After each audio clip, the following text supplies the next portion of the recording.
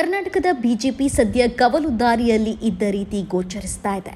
ಒಂದ್ ಕಡೆ ಮುಖ್ಯಮಂತ್ರಿ ಬೊಮ್ಮಾಯಿಯ ಅತ್ಯಂತ ಕೆಟ್ಟ ಆಡಳಿತ, ಮತ್ತೊಂದು ಕಡೆಗೆ ಬಿಜೆಪಿಯೊಳಗೆ ನಡೀತಾ ಇರುವ ಆಂತರಿಕ ಯುದ್ಧ.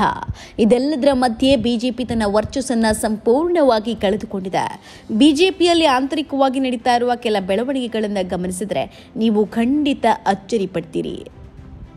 ರಾಜ್ಯದ ಬಿಜೆಪಿಯಲ್ಲಿ ಸದ್ಯ ನಡೀತಾ ಇರೋ ವಿದ್ಯಮಾನಗಳನ್ನು ಗಮನಿಸಿದ್ರೆ ಬಿಜೆಪಿಯ ರಾಜ್ಯ ನಾಯಕರು ಪೈಪೋಟಿಗೆ ಬಿದ್ದು ಬಿಜೆಪಿಯ ಸರ್ವನಾಶಕ್ಕೆ ಇಳಿದಿದ್ದಾರೆ ಅಂತ ಅನ್ಸುತ್ತೆ. ಎಲ್ಲರೂ ಸೇರಿಕೊಂಡು ಬಿಜೆಪಿಯ ಶವಪೆಟ್ಟಿಗೆಗೆ ಕೊನೆಯ ಮೊಳೆ ಹೊಡೆಯುವುದಕ್ಕೆ ತುದಿಗಾಲಲ್ಲಿ ನಿಂತಿರುವಂತೆ ಕಾಣಿಸ್ತಾ ಇದೆ. ಅಂದಾಗೆ ನಾವು ಈ ರೀತಿ ಹೇಳುವುದಕ್ಕೆ ಒಂದು ಕಾರಣ ಕೂಡ ಇದೆ. ಅದು ಬೇರೆ ಏನೂ ಅಲ್ಲ. ಬಿಜೆಪಿಯಲ್ಲಿ ನಡೀತಾ ಇರುವ ಭೀಕರ ಅಂತರ್ಕಲಹ. ರಾಜ್ಯ ಬಿಜೆಪಿಯಲ್ಲಿ ಸದ್ಯ ಎಲ್ಲವೂ ಸರಿಯಿಲ್ಲ ಅನ್ನೋದು ಸ್ಪಷ್ಟ ಆಗ್ತಾ ಇದೆ.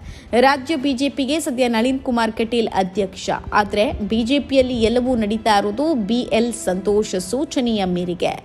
ಬಿಎಲ್ ಸಂತೋಷ್ ಹೇಳಿದನ್ನಷ್ಟೇ ಕೇಳುವ ಅಧ್ಯಕ್ಷ. ಅವರು ಹೇಳಿದ್ದನ್ನ ಮಾತ್ರ ಮಾಡ್ತಾ ಇದ್ದಾರೆ. ಇಡೀ ಬಿಜೆಪಿ, ಬಿಎಲ್ ಸಂತೋಷ್ ಎಂಬ ನಾಯಕನ ಹಿಡಿತದಲ್ಲಿದೆ. ಪಕ್ಷದ ಕಾರ್ಯಕ್ರಮಗಳು, ಸಂಘಟನೆ ಚಟುವಟಿಕೆಗಳು, ಕೆಲವು ಬಿಎಲ್ ಸಂತೋಷ್ ಆದೇಶದಂತೆ ನಡೀತಾ ಇದೆ. ಇದರ ಪರಿಣಾಮ ರಾಜ್ಯ ಬಿಜೆಪಿಯ ಪ್ರಮುಖ ನಾಯಕರು ಸಂಪೂರ್ಣ ಮೂಲೆ ಗುಂಪಾಕಿದ್ದಾರೆ ಅದರಲ್ಲೂ ಬಿಜೆಪಿಯಲ್ಲಿ ಮತಗಳನ್ನು ಸೆಳೆಯುವ ವರ್ಚಸ್ಸು ಇರೋ ಪ್ರಮುಖ ನಾಯಕರೇ ಸದ್ಯ ಆಟಕ್ಕುಂಟು ಲೆಕ್ಕಕ್ಕಿಲ್ಲ ಎಂಬ ಸ್ಥಿತಿಯಲ್ಲಿದ್ದಾರೆ. ಬಿಎಸ್ ಯಡಿಯೂರಪ್ಪ ಅವರನ್ನ ಪಕ್ಷ ಸಂಘಟನೆ ಯಾವ ಕೆಲಸದಲ್ಲೂ ವಿಶ್ವಾಸಕ್ಕೆ ತೆಗೆದುಕೊಳ್ತಾ ಇಲ್ಲ. ಇದೇ ಕಾರಣಕ್ಕೆ ಬಿಎಸ್ವೈ ಕೂಡ ಪಕ್ಷ ಸಂಘಟನೆಯ ಕೆಲಸದಲ್ಲಿ ಎಲ್ಲೂ ಕೂಡ ಕಾಣಿಸ್ತಾ ಇಲ್ಲ. ರಾಜ್ಯ ಬಿಜೆಪಿಯ ಮತ್ತೊಬ್ಬ ವರ್ಚಸ್ವಿ ನಾಯಕ ಶ್ರೀರಾಮುಲು ಕೂಡ ರಾಜ್ಯ ಬಿಜೆಪಿಯಲ್ಲಿ ಸದ್ಯ ಮೂಲೆ ಗುಂಪಾಗಿರುವುದು ಸ್ಪಷ್ಟವಾಗಿ ಗೋಚರಿಸ್ತಾ ಇದೆ. ಇನ್ನು ಈ ಇಬ್ಬರು ಕೂಡ ರಾಜ್ಯ ಬಿಜೆಪಿಯ ಅತ್ಯಂತ ಪ್ರಭಾವಿ ನಾಯಕರು.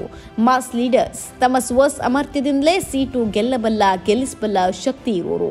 ಇಂತಹ ಪ್ರಮುಖ ನಾಯಕರೇ ಬಿಜೆಪಿಯಲ್ಲಿ ಸೈಡ್ ಲೈನ್ ಆಗಿರುವುದು ಖಂಡಿತವಾಗಿಯೂ ಉತ್ತಮ ಬೆಳವಣಿಗೆ ಅಲ್ಲ. ಈ ಹಿಂದೆ ಅಂದ್ರೆ ಎರಡ್ ಸಾವಿರದ ಹದಿಮೂರಲ್ಲೂ ಕೂಡ ಇದೇ ಬಿ ಎಲ್ ಸಂತೋಷ್ ಇದೇ ರೀತಿ ಕಾರ್ಯತಂತ್ರ ಮಾಡಿ ರಾಜ್ಯ ಬಿಜೆಪಿಯನ್ನ ಹಳ್ಳ ಹಿಡಿಸಿದ್ರು.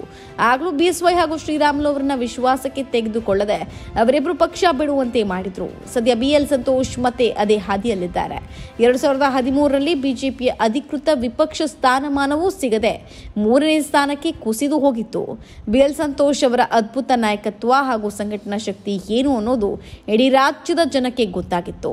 ಸದ್ಯ ರಾಜ್ಯ ಬಿಜೆಪಿ ಮತ್ತೆ ಅದೇ ಹಾದಿಯಲ್ಲಿದೆ. ಹಾಗಾದ್ರೆ ಎರಡು ಸಾವಿರದ ಹದಿಮೂರು ರಿಪೀಟ್ ಆಗುತ್ತಾ? ಕಾದು ನೋಡೋಣ.